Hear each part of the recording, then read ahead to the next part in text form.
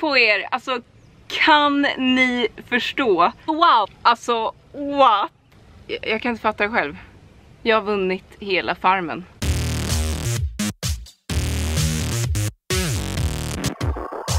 Att det var jag, alltså lilla jag, lilla Sofie liksom som vann hela farmen. Eller lilla hallå, jag är inte liten, jag är rätt stor. Men eh, ni, alltså jag är, det är helt sjukt. Jag vet inte ens vad jag ska säga. Jag har längtat så efter den här dagen. Nu när ni alla får reda på att jag verkligen har vunnit så att jag kan äntligen skrika ut min glädje och bara få få vara mig själv igen ska man säga. Jag har ju varit mig själv men det är just det här att sen, sen den stunden som jag vann så har man ju liksom haft tystnadsplikt. Så att jag har inte fått säga det här till någon.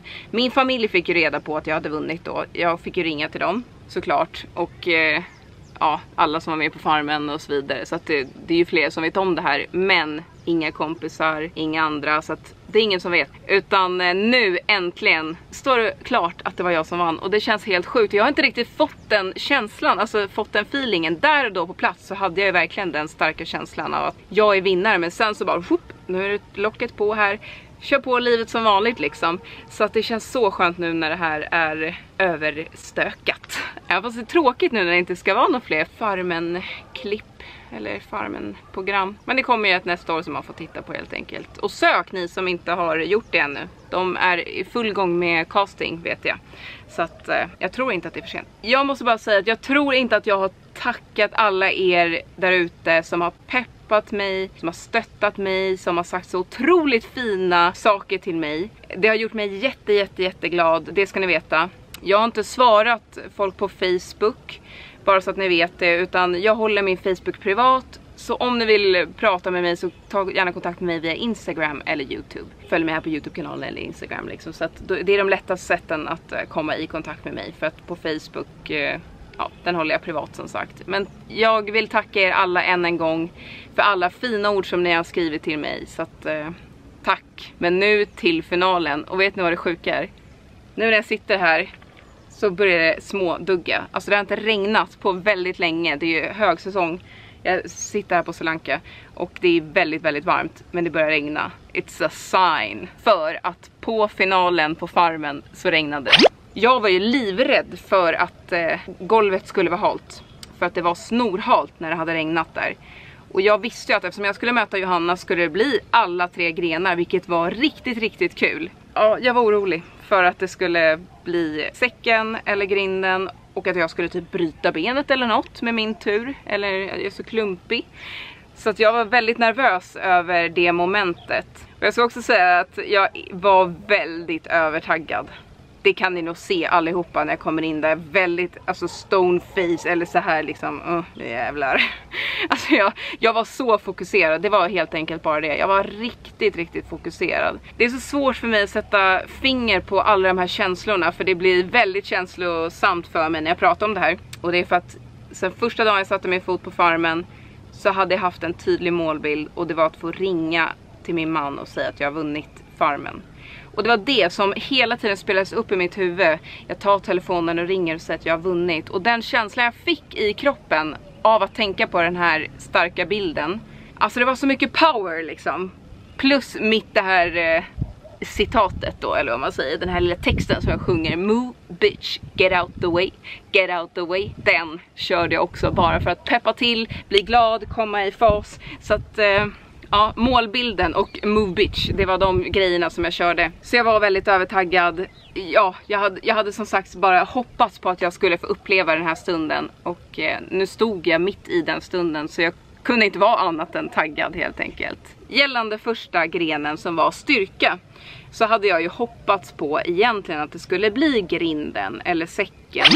För att jag tror att jag hade större chans att ta Johanna i de grenarna. Jag tror inte att det var tvärgjort för att jag tror att Johanna är väldigt stark. Men jag är mycket längre, omkring 10 cm tror jag. Och där och då vägde jag omkring 15 kilo mer. Jag hade ju gått upp 9 kilo som jag sa i tidigare klipp under min farmen, eh, farmen säsong. Men eh, ja, så att jag, jag, jag var mycket tyngre så jag kände att jag hade fördel där i att det skulle, om det skulle bli någon av de grenarna. Samtidigt som det hade regnat så jag var lite orolig. Men det blev ju kannan. Och jag bara, No kände jag direkt. Det var den sämsta som jag hade kunnat tänka mig. Det var främst för att mitt finger hade ju, jag hade ju muskelinflammation i mitt finger efter en mjölkning så jag hade riktigt ont i det. Och jag vaknade varje natt av att det var fast i ett läge, det kunde låsa sig i olika lägen liksom. Så att eh, det, det nojade jag för då direkt när jag fick reda på att det här var kanon. Plus att jag är bara dålig på statiskt hålla. Det är verkligen inte min grej. Och ni såg utfallet, Johanna vann. Jag trodde nog ändå att jag skulle ta den så att eh, jag vart väldigt, väldigt arg och besviken på mig själv när jag tappade kannan. Så att eh, ja, självklart ökade stressen i mig att nu ligger jag under, underläge. Det är aldrig bra, du vet. Underläge kan få en att tänka på två olika sätt. Det ena kan peppa en och det andra kan bara skälpa en. Jag eh, har ingen tydlig liksom hur jag brukar reagera utan det kan vara det ena eller andra från gång till gång. Men jag känner mig rejält stressad. Det som är väldigt roligt i gren nummer två då som var kunskap är att jag tycker man tydligt ser hur pass ändå värdiga vinnare jag och Johanna hade varit båda av oss. För att vi kunde väldigt mycket om gården, kunskapen om gården. Och det var ju väldigt roligt att vi båda satte alla tio rätt helt enkelt. Så att eh, jag tycker att det är väldigt kul att vi gjorde det. Och jag minns att jag och Johanna tittade på varandra och liksom, det här är grymt. Alltså vi tyckte själva att så här, fan vi är bra ändå. För att vi, vi kände inte ens vi gick inte ens fram och smakade på alla grejer utan vissa grejer visste vi bara på en gång och både hon och jag. Nej, så jag var riktigt imponerad av henne och av mig själv också faktiskt för det var svårt, det ska jag inte sticka under stolen. Men det var rätt häftigt i alla fall. Men där försvann min chans till att ta ikapp den här tidsförlusten som jag redan hade. Så att det stressade mig ju ännu mer. Men jag hade liksom inget val utan nu sista grenen var ju teknik. Nu var det bara all in och köra. Och jag visste att jag låg i underläge och jag var bara tvungen att försöka liksom ställa om och tänka att underläge är bra. Hon tror redan att hon har vunnit eftersom att hon har liksom försprång. Kanske, det här var så som jag tänkte i mitt huvud. Det kan vara till min fördel. Jag taggade om och var riktigt redo när det startades. Det kändes så extremt lång tid, alltså de här sekunderna som jag eh, fick vänta. Jag stod och bara tänkte, kom igen nu, nu måste det snart vara dags, nu måste det snart vara dags. Men det skedde liksom aldrig. Och när det väl skedde så tog jag upp yxan och när jag slår ner den så känner jag bara Vad fan är det här? Det kommer aldrig att gå. Alltså helt stumt. Känns som att ingenting hände och den här stocken var ju så extremt stor. Så jag tänkte bara nej, det är kört. Kommer aldrig gå. Jag tappade hoppet redan de första yxtagen. Men så hörde man ju, jag försökte fokusera men jag hörde dem på läktaren skrika kör, kör, kör. Och jag vill minnas att det var Mergim som stod och ropade, jag hörde hans röst i alla fall, han, körde, han hade en väldigt monoton takt i sin röst. Han sa, sa liksom kör, kör, kör. Så att jag snappade upp hans eh, rop. Och även om det var till mig eller till Johanna, ingen aning. Utan jag bara hörde det. Jag bara körde. Så då försökte jag köra i takt till det. Kör, kör, kör. Och tänkte nu jävlar, alltså där kom djävulen tillbaka i mig, vinnarjävulen. Det var alltså en stock framför mig och 500 000. Och jag har kämpat hela den här sommaren. Ska jag stå här och bara, nej det var för jobbigt, jag orkar inte liksom. Nej, utan nu jävla kör vi. Så att, uh, uff, gud jag får rysning. Jag körde tills, tills ringen gick igenom. Och jag satte den på kroken. Wow. Alltså, jag vet inte, jag blir väldigt känslomässig nu när jag pratar om det här. Oh, gud det är så extremt konstigt liksom att den känslan som bara sköljde över mig när jag hör att Paolo skriker att jag har vunnit, segrare tror jag han skrek. Jag, jag visste inte vad jag skulle ta vägen alltså. Det var som en film. Och jag har aldrig någonsin i hela mitt liv känt mig så extremt utmattad som jag var där och då.